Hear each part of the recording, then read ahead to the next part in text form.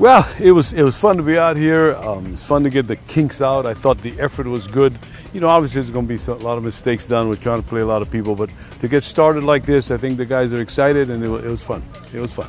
Well, you know, I was happy with what I saw out there because we're night and day from where we were at coming out of spring ball, and you can see the kids have worked on it all summer. Uh, obviously, practicing without any pads on, uh, it's hard to really evaluate anything there, but. Uh, as far as assignments and doing things right and, and where we're at from a mental standpoint, I thought was really impressive today. Uh, maybe better than some of the things I've seen in the last eight to ten years.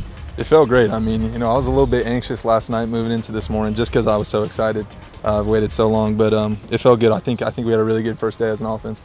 Yeah, I think they had a really good summer uh, with watching film, with studying the game, uh, being gym rats or just around it, enjoying each other. I thought all of that was very good, and I and I think we saw the benefits of it today, uh, just in the first practice.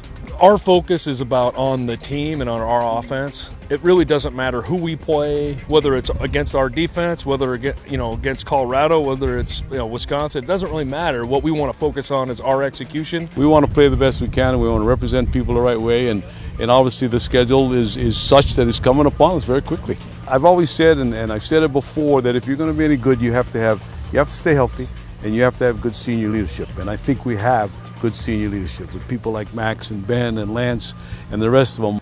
Knowing, having, having the confidence behind you from your head coach, your offensive coordinator, moving into camp, uh, knowing that the offense is yours, the guys are behind you, um, it makes a world's difference. You know, uh, the way that I feel out there is so much more confident. The decisions are happening so much more naturally. I think we're right where we need to be, energy-wise. Um, you know, we will get our attention to detail going a little bit better, but uh, you know, we just got to be critical of ourselves, and I think uh, that's what we look forward to doing.